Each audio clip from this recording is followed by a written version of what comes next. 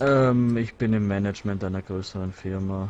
Wir planen eine feindliche Übernahme einer, einer Konkurrenzfirma hier in, in Los Angeles und ich soll hier ein bisschen die Vorarbeit leisten.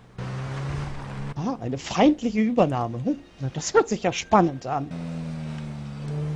Ja, so war die. Ja, so, ganze das hat. Menge Firmenpolitik, relativ langweilig. Ah, ja.